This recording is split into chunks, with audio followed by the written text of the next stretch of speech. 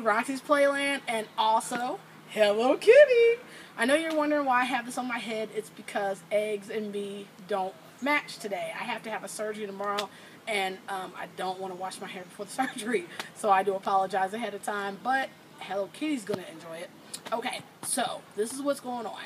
I want all my friends who are diabetic, um, especially T1Ds and T2s and T1.5s.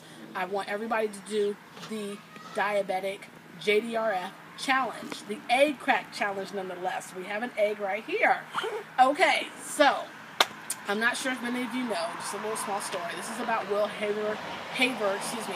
He was around 21 years old. Um, he recently died from complications of diabetes and the flu. I am being called out by Superbetic. I am calling out once again. I'm not sure if she heard the information. I'm calling out Type 1 Teen. I'm also calling out all of the MiniMed diabetic ambassadors. I am also calling out um, Susanna Comian. I'm calling you out as well. So I do apologize and I'm very sorry that this happened, but we need to bring this awareness. We need a cure.